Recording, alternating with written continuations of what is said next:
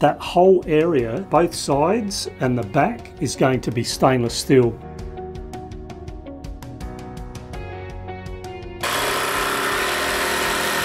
So the next plan of attack is to get this sump fitted. Trimming and planing and sanding that down to the right thicknesses, that's going to be challenging. Well, it's time to get stuck into coving this cabin sole in the heads.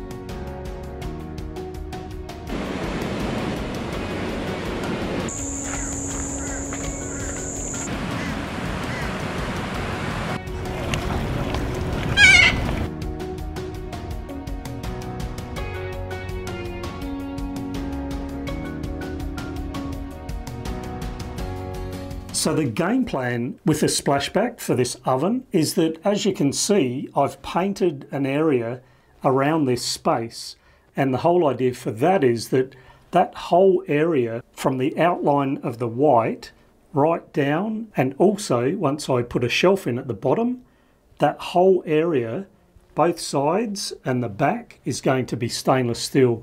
I'm only going to be using 0.8 millimeter 316 stainless steel plate so it won't be that heavy, but it's a really easy way to clean things ahead. As you can see, this space is actually quite big, quite large. Here I am sitting here and that space is much bigger than me. The stove oven I have is nowhere near going to fill that space. And the reason for that is that I made it larger to take into account should I decide to get a larger stove ahead the space will accommodate much larger ovens. In fact, I measured pretty much the standard largest ones so that I could get one of those in there as I say, if I decide to upgrade and get a larger oven ahead. So the idea is that this will be CAD designed, as in cardboard assisted designed. So I'm just going to use the cardboard, as you can see here. I've got a whole bunch of that, and I've spoken with the guys that are going to be making it up. So I'll get that made as a pattern and the good guys that will make it up should be able to get that correct the first time. Once it is made up, I'm only going to be screwing it in place. Should I ever need to get to anything behind here, including the steel plate itself, that can be removed, as can those lining panels, so that inspection can be done without completely destroying the furniture.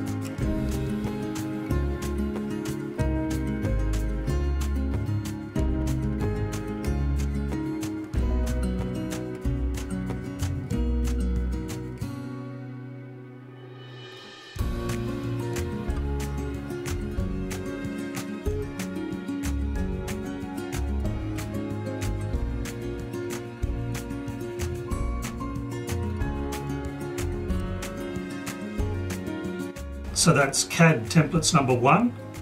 Now it's a matter of transferring that to some thin board for the proper templates so that I've got a good template for the stainless steel guys to make this up.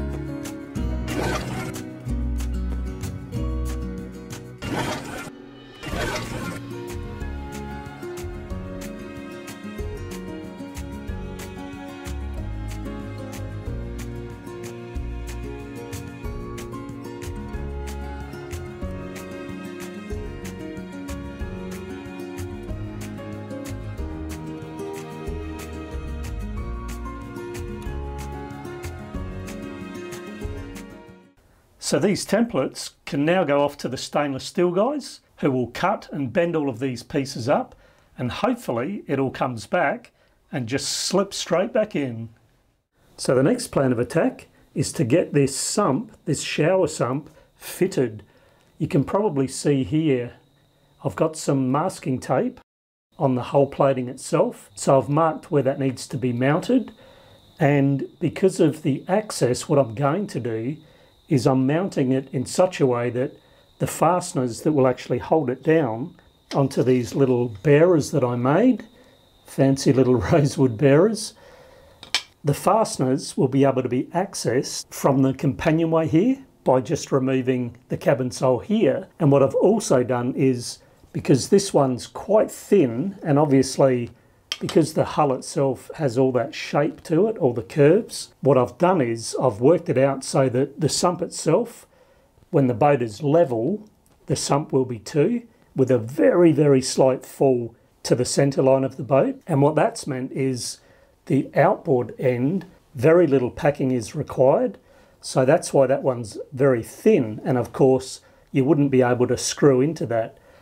I will be using fasteners and Fix 15 bonding so that with both of them, that will be staying in place. And because of the mounting brackets on the sump, what I'll be able to do is put fasteners on the base in the center and on the inboard edge. And although I will be using the Fix 15, the good thing about that is, should that sump ever need to be removed, it will remove without wrecking these bearers. The other thing that I'll be doing while I'm here, I've made up this little packer, this little wedge shape, and that's for this very aft end of the cabin sole in the heads. As you can see right down here, that too I've marked with texture, so I just need to give this a little bit of a sand, same with the hull, give them a wipe, put some Fix 15 on, and bond them in place. Also to point out is my rather fancy deluxe scraper which I've made a nice radius curve which will be the perfect radius for doing the coving in the heads panels here both for, as I said before, the vertical panels and that cabin sole. I've got another scraper for these two bulkheads that are on a 45 degree angle. It's a much shallower angle, but this has come up a treat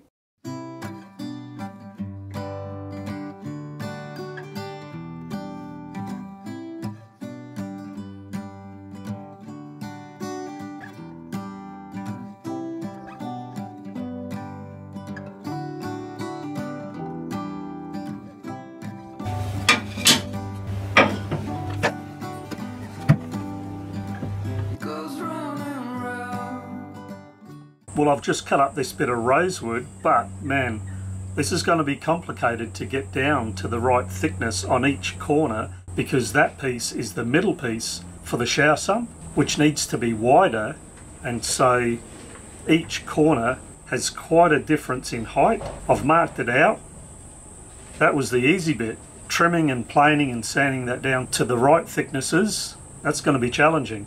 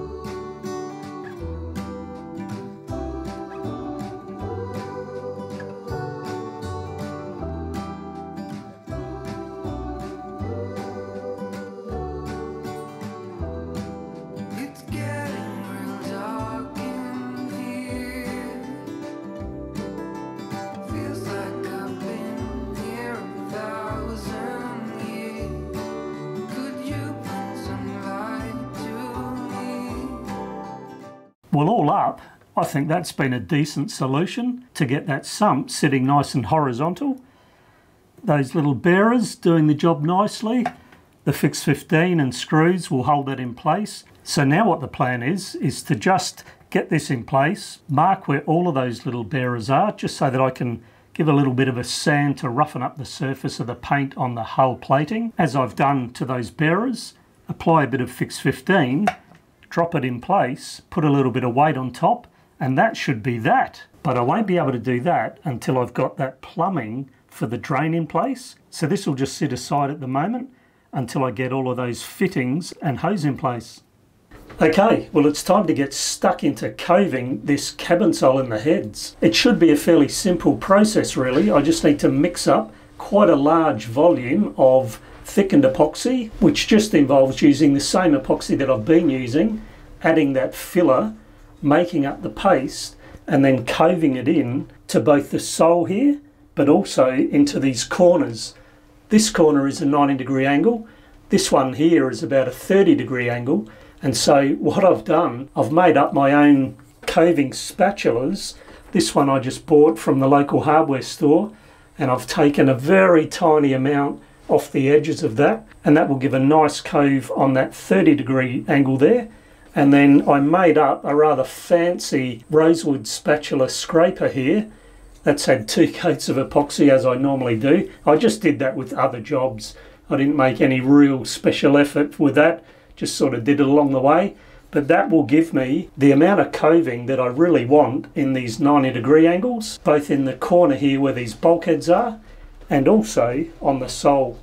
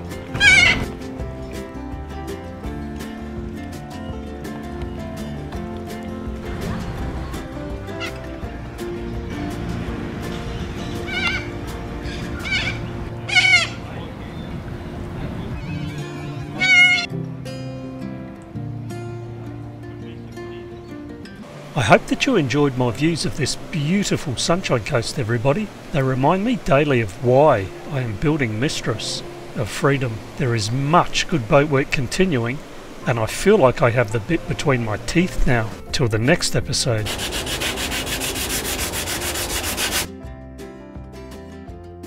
Now getting back into these cabins so that I can get the insulation